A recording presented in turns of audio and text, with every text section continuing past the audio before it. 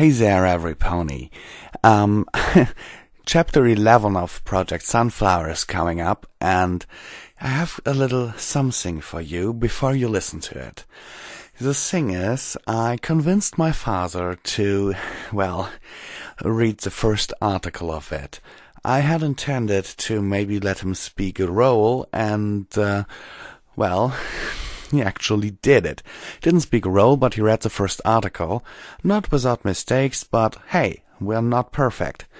And uh, I'll put it in here for you to listen to. Maybe you'll like it. To let me know in the comments below. And maybe I can convince him to do an actual role in one of my future projects. Sincerely yours, Visual Pony. The day after the party. Erin followed pretty much the same routine as the previous day. Wake up early, go for a run before most of Ponyville even woke up, then return to shower.